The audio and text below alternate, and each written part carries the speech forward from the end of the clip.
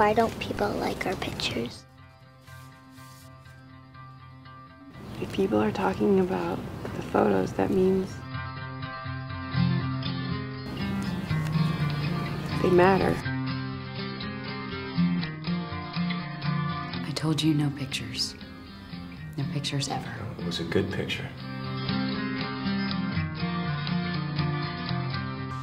Close your eyes.